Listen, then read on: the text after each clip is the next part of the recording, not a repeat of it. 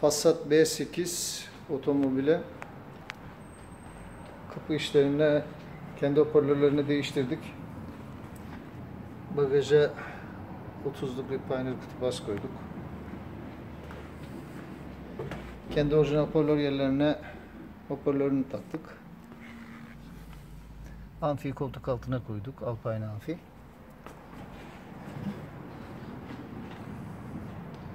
Kendi üzerinden çıkan hoparlörleri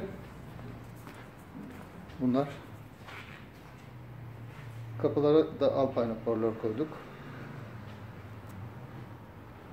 Gayet güzel bir uygulama oldu. Güzel de bir ses verdi.